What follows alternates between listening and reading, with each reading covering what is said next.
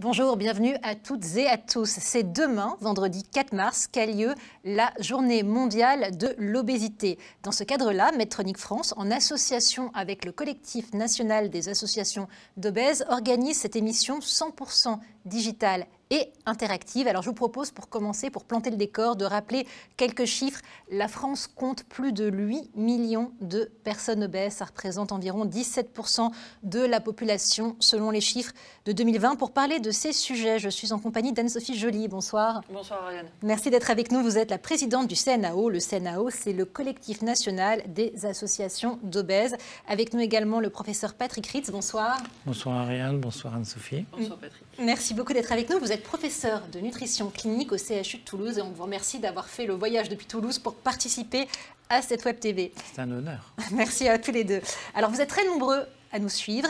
Euh, je rappelle que vous avez un espace dédié pour poser des questions, pour interagir avec nos experts ce soir tout au long de cette web TV. Alors vraiment, n'hésitez pas. C'est parti. Alors on va commencer cette émission pour répondre à la question suivante.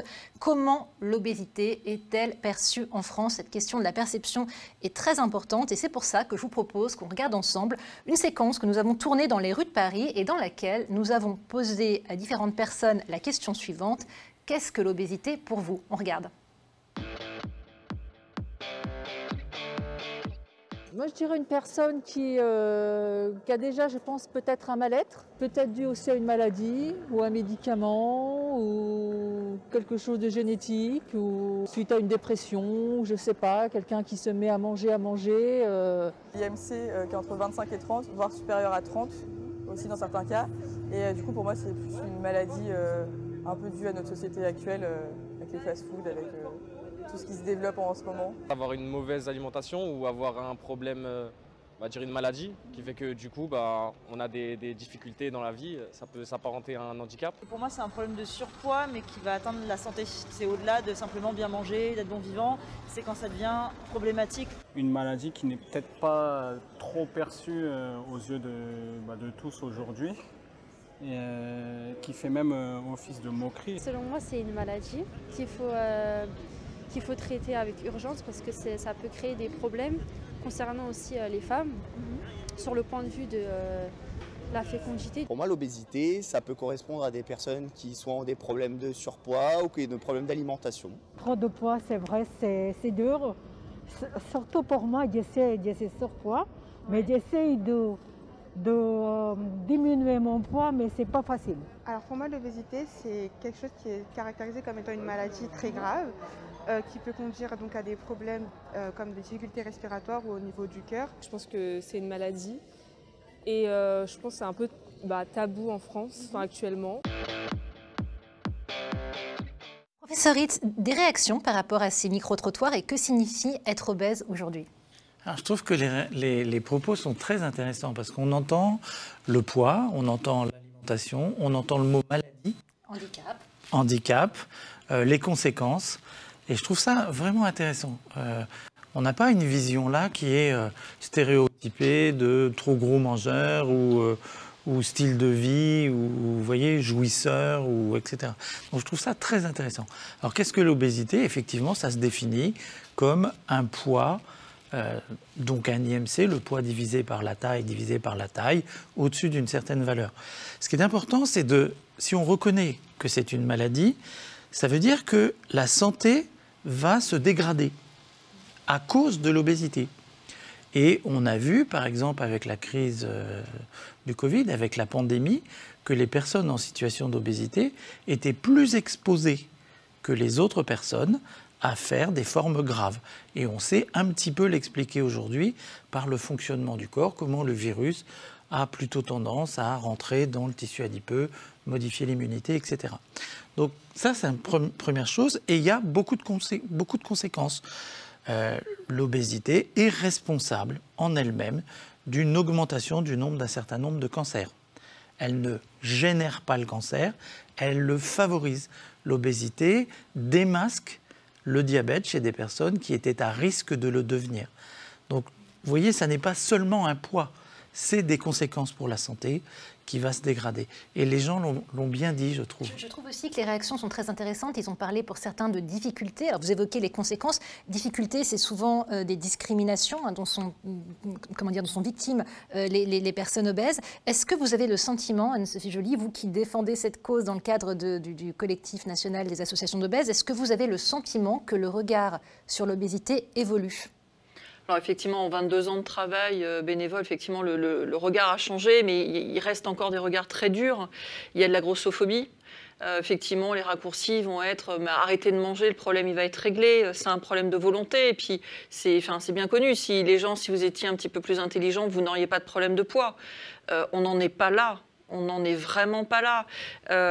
Il y a des gens qui ont du mal à trouver du travail parce que, effectivement, alors, c'est tout l'enjeu de, cette émission, c'est est-ce que c'est une maladie ou pas? C'est des choses qu'on va pousser demain à l'Union européenne, mais on n'est pas équivalent, mais Patrick le dira tout à l'heure, c'est que finalement, métaboliquement parlant, on n'est pas constitué de la même façon.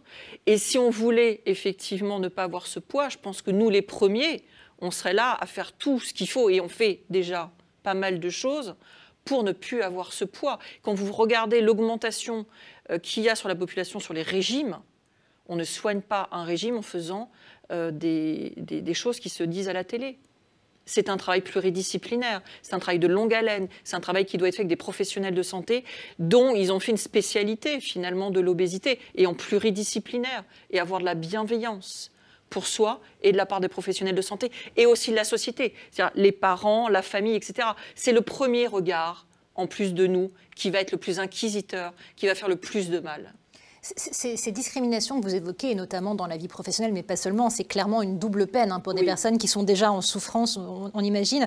Alors ce que je vous propose, c'est qu'on écoute ensemble euh, le témoignage d'Emmanuel Grenon. Il est directeur au sein de l'unité innovation chirurgicale chez Medtronic. C'est un patient obèse opéré et il nous raconte son expérience personnelle. On l'écoute.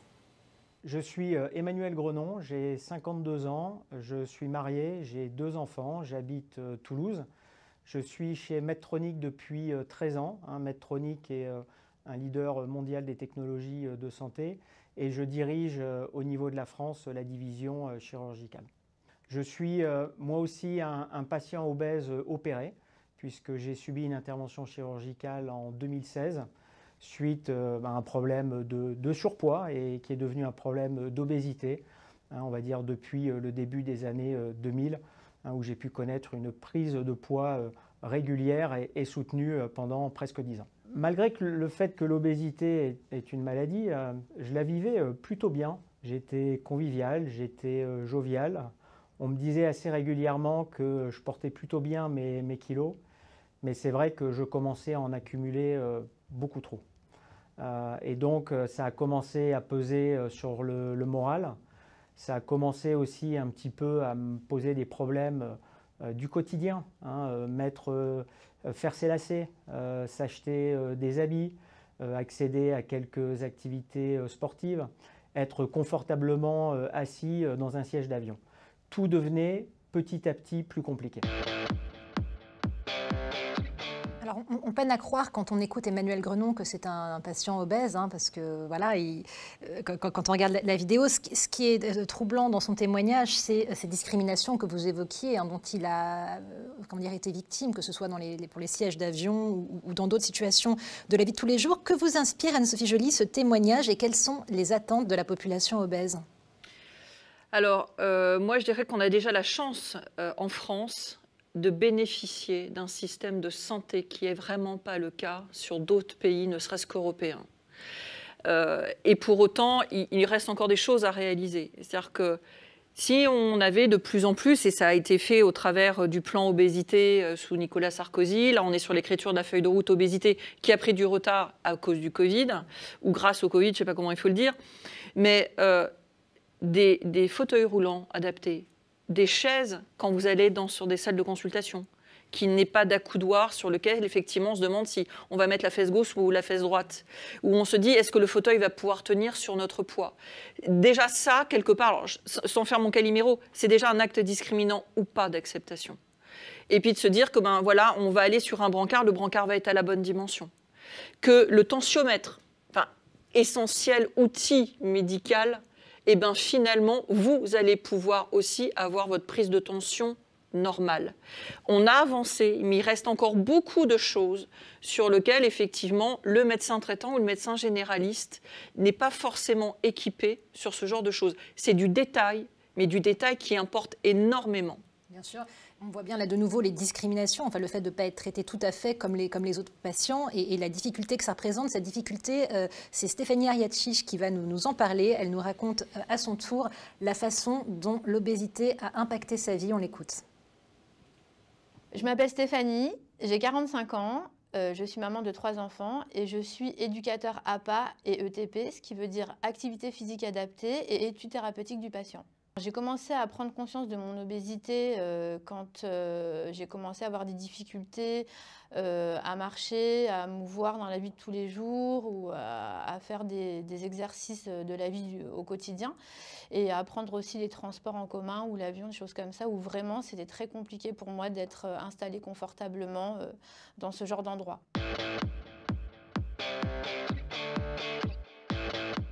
Aujourd'hui, ce serait que les personnes obèses soient prises en charge euh, globalement euh, par une équipe pluridisciplinaire et soient vraiment suivies au niveau sportif, au niveau euh, diététique et au niveau psychologique pour vraiment les accompagner du mieux qu'on peut dans leur quotidien et pour arriver à la prise en charge globale de leurs problèmes de surpoids par rapport à la pédagogie, de savoir comment s'adresser à ces personnes qui sont réellement en souffrance par rapport à la surcharge pondérale. Professeur Ritz, euh, Stéphanie Ariatchich évoque euh, les attentes des patients concernés par l'obésité. Vous nous en disiez à l'instant également euh, quelques mots, Anne-Sophie Joly. quid des attentes des professionnels de santé sur ces sujets? Alors, ce qu'elle dit qui est vraiment intéressant, c'est approche globale, pluriprofessionnelle, accompagnement. Global, ça veut dire je ne fais pas un petit bout de l'examen de la personne, je la considère dans son entier, dans toute sa dimension, c'est-à-dire la dimension du corps, la dimension de pourquoi je mange, pourquoi je mange de cette façon-là, la dimension du retentissement psychologique de la maladie, être malade d'être malade. Si c'est une maladie chronique, à un moment donné, les gens réalisent qu'il est des choses qu'ils ne pourront plus faire. Donc, dans le pluridisciplinaire, l'approche globale par plusieurs professions et un accompagnement. C'est-à-dire, on ne va pas faire un diagnostic en deux minutes, taille, poids divisé par la taille divisé par la taille, ça, ça va très vite. On va avoir besoin de beaucoup de temps pour parler à cette personne, pour l'écouter pour entendre correctement ce qu'elle a à dire et choisir avec elle des changements d'alimentation, d'activité physique, de gestion du stress, de gestion des émotions, etc. et accompagner ce changement. Donc on va avoir besoin de beaucoup de temps. Cette prise en charge, pardon de vous interrompre, cette prise en charge globale, cette approche multidisciplinaire, c'est quelque chose qui fait défaut aujourd'hui? Alors aujourd'hui, tout le monde dit que les ressources médicales les ressources humaines médicales sont insuffisantes. Il y a des déserts médicaux, même dans les grandes villes. Il y a des déserts médicaux. Donc les médecins traitants sont soumis à une quantité de travail importante, ce d'autant que le nombre de maladies chroniques augmente. La population vieillit, il y a de plus en plus de malades, et donc ils ont de plus en plus de travail. Et dans le même moment, on voudrait, nous, qu'ils consacrent plus de temps à certaines maladies chroniques. Donc on est clairement en difficulté. Après, si on regarde euh, les professions euh, qui accompagnent le changement, diététicienne, euh, enseignants en activité physique, psychologues, pour la plupart, elles ne sont pas prises en charge. Et quand un patient doit aller voir, enfin, ou va voir une diététicienne, eh bien, c'est exceptionnel que la consultation soit prise en charge par sa mutuelle. Cette personne doit payer. Et ce n'est pas une consultation, c'est des consultations dans l'accompagnement.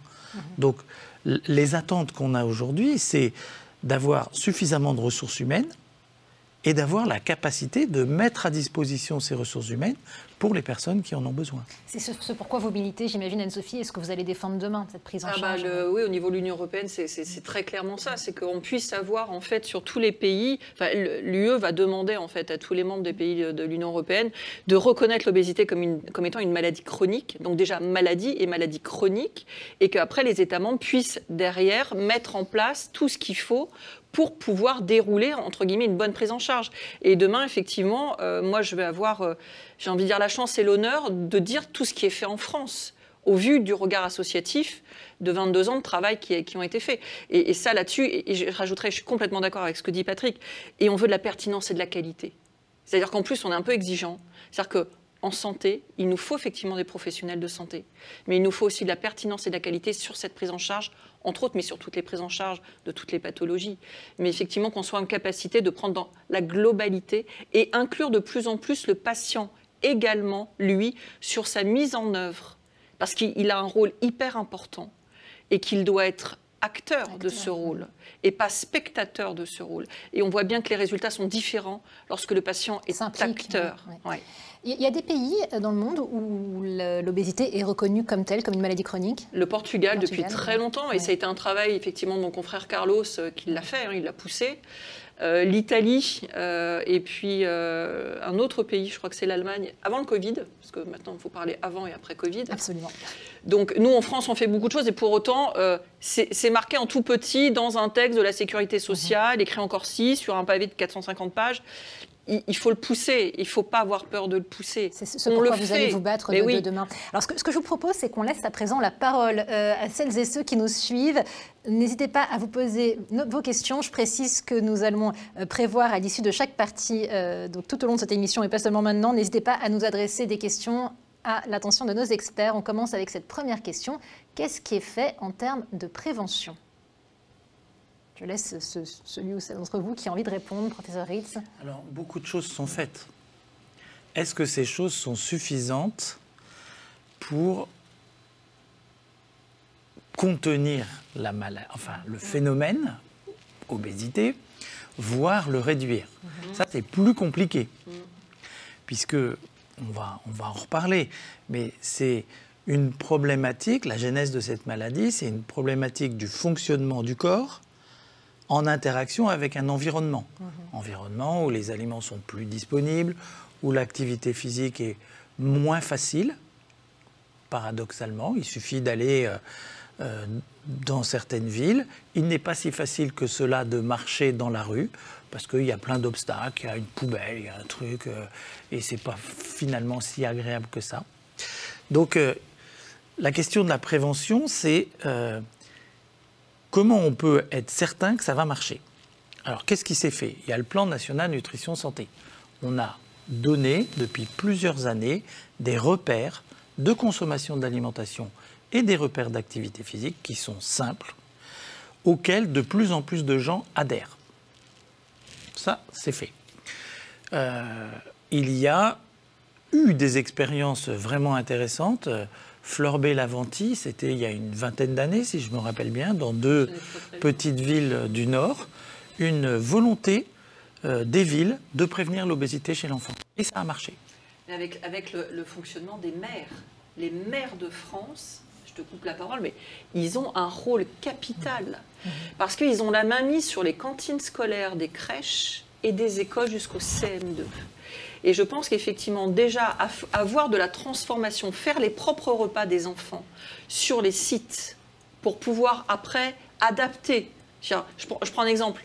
Euh, Lorsqu'il y a des, des, des gastros dans les, euh, dans les crèches, bah, tout le monde est au riz. On ne va pas les mettre des légumes alors que les enfants euh, qui ont six mois sont en gastro. Enfin, c'est du bon sens, mais ça revient déjà à ça. Et puis ce qu'on va mettre dedans. Et puis, qui, qui l'a fait Quand on peut récupérer des circuits courts où on sait que les maraîchers d'à côté sont à côté avec des produits ultra frais, il faut. On, on a. Je suis désolée, je te, je te prends la parole. Il, il y a énormément de choses qui sont mises qu'on ne voit pas ou qu'on ne peut plus voir. Il faut revenir à de la simplicité. Ça, ça a été le travail du CNA, qui est le Conseil national de l'alimentation, qui travaille en plus avec le plan national nutrition santé, le PNNS, et ça va aussi dans l'écriture de la feuille de route, où le CNA finalement dit attention, on met moins de sel, moins de sucre, moins de gras. Ça paraît bête, mais c'est essentiel. Baisser de 5% le sel dans le pain. 5%. Ce n'est rien, ça ne se sent même pas au niveau du goût. Pour autant, on baisse toutes les maladies cardiovasculaires qui vont avec. Donc, c'est, c'est, ça ne se voit pas au premier coup d'œil en termes de prévention, mais c'est ça. La et puis, c'est pour- des petits pas, finalement. mais oui, et puis c'est un travail qui doit se faire de tout à chacun, c'est-à-dire, et d'où mon travail, enfin, travail de, de chacun, de se dire public et privé. Main dans la main. Dans la main, et tout le monde a un rôle, et ce rôle est loin d'être inutile, et est loin de ne pas avoir d'écho, c'est faux. C'est faux. Je propose qu'on écoute cette seconde question. Est-ce que le diabète de type 2 est toujours lié à l'obésité, professeur Ritz? Alors, c'est une question difficile parce que lié, euh, ce que je peux en dire, c'est que euh, si on prend le- la problématique à l'envers, des personnes dont le diabète de type 2 émerge, il arrive dans le champ de la personne, la glycémie monte. Si cette personne perd du poids, alors le diabète est éteint. Il restera potentiellement là, mais il est éteint. Chez des personnes qui sont à risque de le devenir, il y a plusieurs expériences dans le monde qui montrent que augmenter son activité physique, équilibrer son alimentation et perdre entre 5 et 7% de poids, vous voyez, c'est pas beaucoup, c'est 4 kilos, 5 kilos pour quelqu'un de 80 kilos, ça réduit de presque 60% le risque de devenir diabétique à un an et de 27% à 15 ans. Un quart des gens qui auraient dû devenir diabétiques ne le sont pas en ayant mis en place ces choses-là. Donc, clairement, il y a un lien entre l'excès de poids, le dysfonctionnement du tissu adipeux que cela entraîne et l'émergence du diabète de type 2 par les anomalies de, la, de ce qui régule le taux de sucre dans le sang, la glycémie. D'où l'importance de la prévention. Mais là, tu vois, Ariane, ce que vient de dire Patrick, il vient de faire un message de prévention. Absolument. Et c'est de ça dont la population a besoin. C'est de la vulgarisation d'informations médicales. C'est-à-dire que la santé ne doit plus être quelque chose de tabou ou qui fait peur. On doit rentrer dans des fonctionnements simples sur lesquels la population peut accaparer l'information et se la mettre en pratique chez elle.